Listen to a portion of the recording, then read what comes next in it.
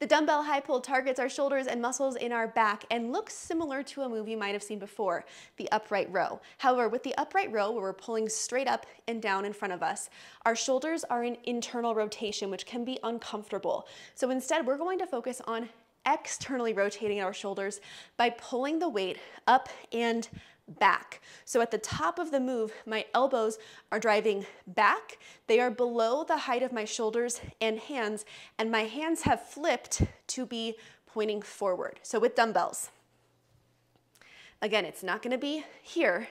It's going to be with knees soft, glutes squeezed, core engaged. It's going to be a pull up and back. And when we get into this position, you should feel the muscles in your back and feel the back of your shoulders squeezing to get you here.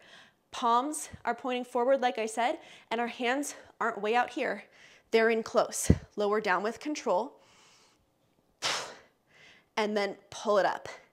Inhale and exhale up and back. And repeat.